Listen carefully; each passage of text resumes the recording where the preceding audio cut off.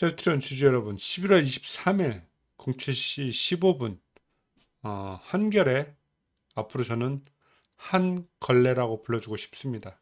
한결에 박종호 기자께서 아침 7시 15분에 단독 셀트리온 분식회계 논란 3년 만에 금융당국 심판대 아 타이밍이 아주 절묘합니다. 어, 3년 만에 금융당국 심판대에 올랐는데 왜 하필 지금 투심이 지금 살아나고 있는 이 시기에 셀트리온의 투자 심리를 찬물을 아주 제대로 끼얹었죠.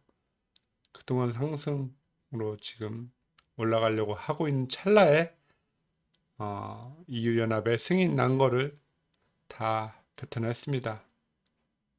종호야 고생했다.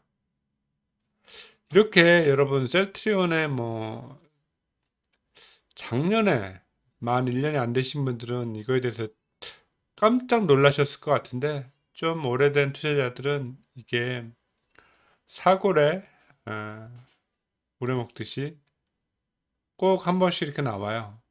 그리고 셀트리온의 투심을 다 꺾어버리죠.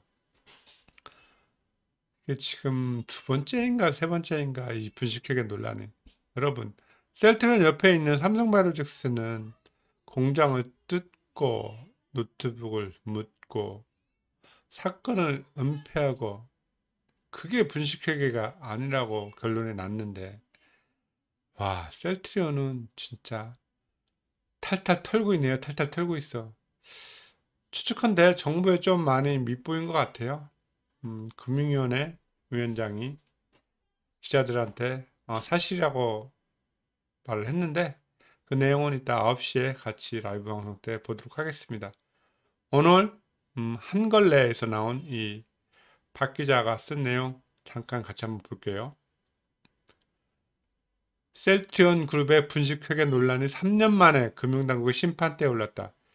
이거를 3년 만에 지금 이 시점에 올린 것도 아주 타이밍이 절묘합니다. 그죠?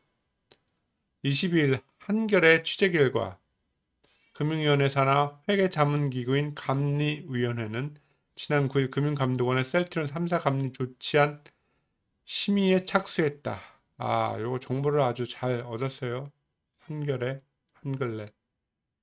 요것도 또 이 더불어민주당이 2018년도에 이가 이하경 의원께서 국정감사에서 문제를 제기한 후에 감리에 착수한 건데 지금까지 하는 둥 마는 둥 했다가 이 시기에 다시 이 문제를 거론합니다. 음, 그 뒤에 누가 있는지는 진짜 합리적인 의심이 가능하죠. 그죠, 여러분? 금감원은 감리를 통해 셀트린 그룹의 매출 자체가 허위라는 점은 입증하지 못했다. 그런데 계속 물고 늘어지죠. 그러나 셀트론 의약품 판매 법인인 셀트론 헬스케어와 셀트론 제약이 재고 손실을 축소해 장부에 반영한 정황 등은 확인했다. 요거는 지금 어, 다툼의 소지가 있는데 이런 걸 가지고서 정말 셀트리온 그룹주를 이렇게 5% 이상 폭락시켰으니 오늘은 그래 한걸레 공매도 너희들의 승리의 날이다. 그러나 유럽 수출을 눈앞에 두고 이런 어, 또뭐 찌라시는 아니죠. 사실로 지금 판명이 된 거니까. 그런데 정말 타이밍이 절묘합니다. 여러분들 속상하시죠? 이따 9시에 뵙겠습니다. 감사합니다.